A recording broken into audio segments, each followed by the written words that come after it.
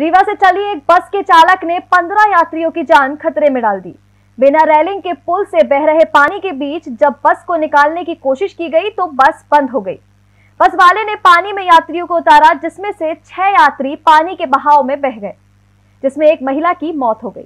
चालक की घोर लापरवाही से निजी बस में सवार पंद्रह लोगों की जान खतरे में पड़ गई और एक महिला की मौत हो गई।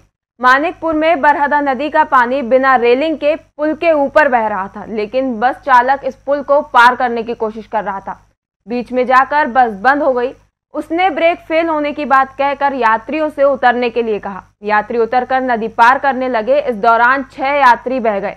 स्थानीय लोगों ने सभी को बचाकर अस्पताल पहुँचाया, जहाँ इलाज के दौरान एक महिला ने दम तोड़ दिया। बस रीवा ज़िले के डबौरा से सवारी लेकर चली थी। चालक ने बस को बिना रेलिंग के पुल पार कराने का प्रयास किया तो वह तेज बहाव की वजह से अनियंत्रित होने लगी। लेकिन बस चालक नहीं माना और बस कुछ दूर चलकर ही बंद हो गई। एसपी शैलेंद्र कुमार राय ने बताया कि बस चालक के खिलाफ कार्रवाई की जाएगी। इस मामले में बस चालक की गलती साफ़ नज़र आ रही है।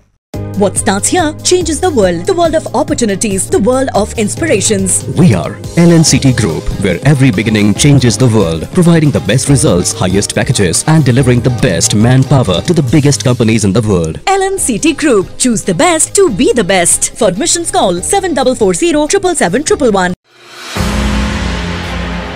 Rabindranath Tagore University, the pioneers in skill development, with focus on creating industry-ready professionals.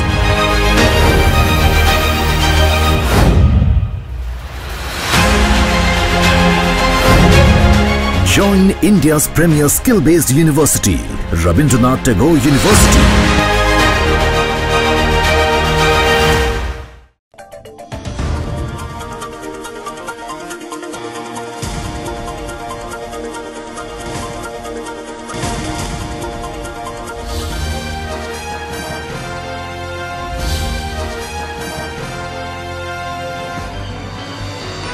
आप देख रहे हैं दखल न्यूज़।